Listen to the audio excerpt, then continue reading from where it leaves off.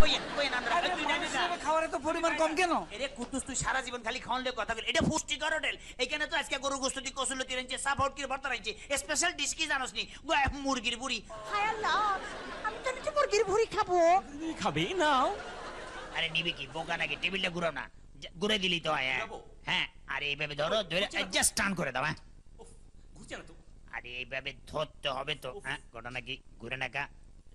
আব্দুল! কি হয়েছে sir any problem আরে গতবার পাইলাম ঘুরলো এখন সবার সামনে ফেস্টিস পাঞ্চার হয়েছে দিতে ঘুরে না কেন টেবিল হ্যাঁ? জাস্ট ঘুরবে। ও ঘুরবো তো টেবিল তো ঘুরতো না আপনারা না ঘুরবেন। কি মজা?